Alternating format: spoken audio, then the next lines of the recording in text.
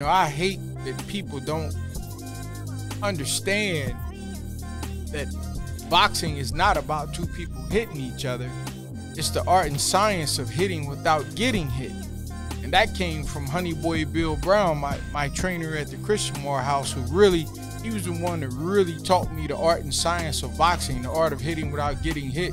Check out our recent interview with the former world champ.